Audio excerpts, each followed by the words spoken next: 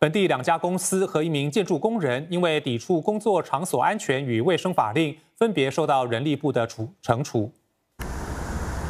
受罚的建筑工人苏雷斯，去年四月在工地操作轮式装载机时，因疏忽撞倒和碾过另一名建筑工人，对方送院后伤重不治。苏雷斯被判坐牢十六个星期。